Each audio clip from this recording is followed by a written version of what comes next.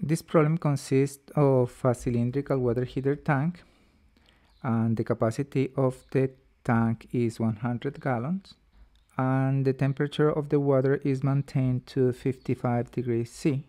The temperature of the outside is 20 C. So now the tank is insulated from the sides, the top and the bottom with the urethane and um, the questions that uh, we have is that we would like to know the um, dimensions of the thickness of the urethane uh, for which the annual cost associated with the heat losses is less than $50. So the first thing that we need to determine is um, what this uh, money in terms of energy means. So for that, and the problem gave us some information about the cost of the kilowatt hour. And remember, kilowatt hour is a unit of energy. And so the cost is dollars per kilowatt hour. So if the total heat in a year will be the equivalent of these $50, so we need to divide by the price of the kilowatt hour so this 50 divided by 0 0.18 dollars per kilowatt hour equal to 278 kilowatt hour. Now this is energy and the conservation of energy equation is uh, written in terms of heat rate. So we need to transform this into heat rate. But the heat rate is in terms of time so this is the energy per year. So the uh, heat rate maximum that we want is Q of the year, all the energy of the year divided by one year. And so this is 278 kilowatts hour and one year is 360 days times 24 hours.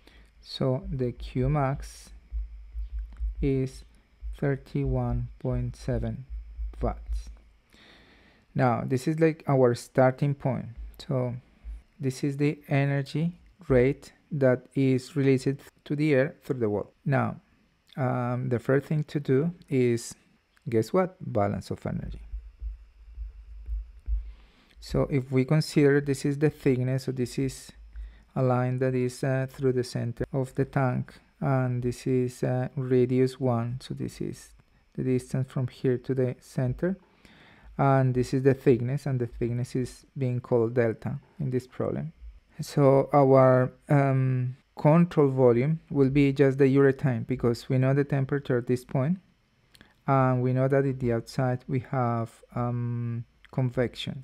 So we have ambient air which is at a temperature of 20 C. The energy that is loss through the walls came from the water and is released to the air. And the, and the walls that we have are the sides walls, so all these walls, and the top and the bottom. In the balance of energy, we have that Q generated,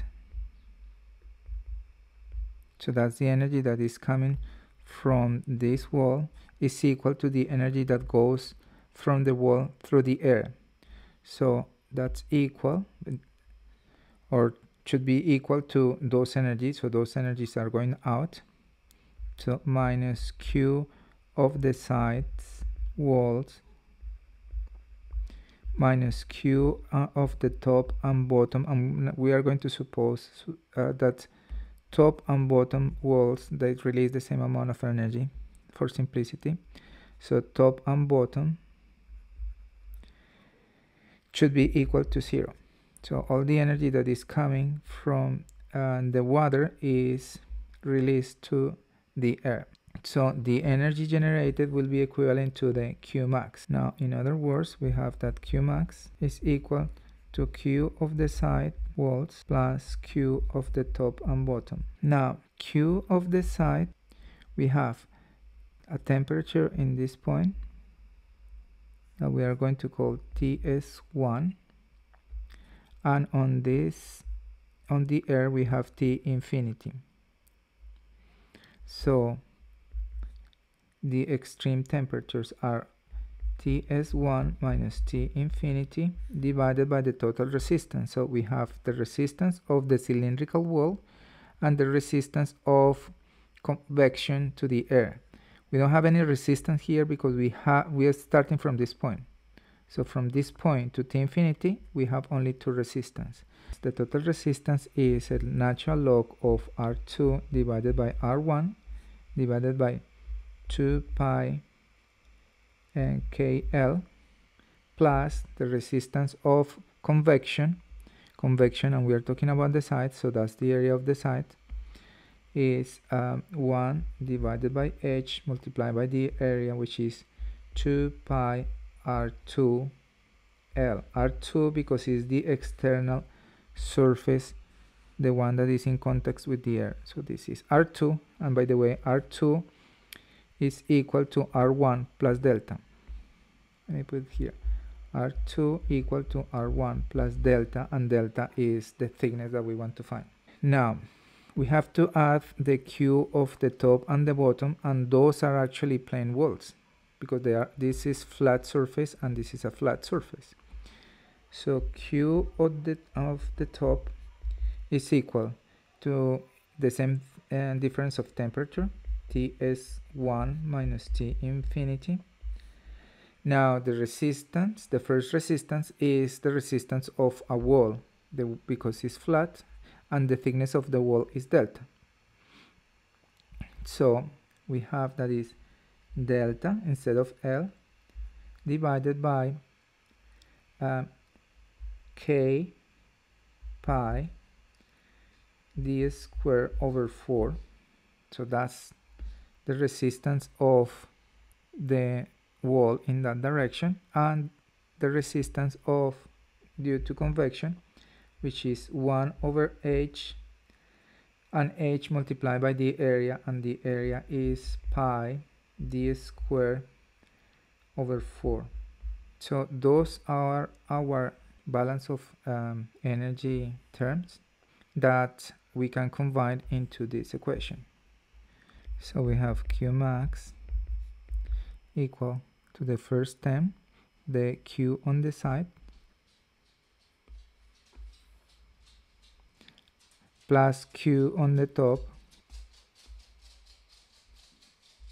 So what are our unknowns? So what our unknowns are delta and R2. Right? Well, we have an equation here for delta in terms of R2. So this is, a, if we want equation 1. And this is the second equation, equation 2. So we have two equations and two unknowns. So we should be able to solve it. So to solve it, we really need to use either iterations or use a mathematical program like Python to uh, solve the system of equations.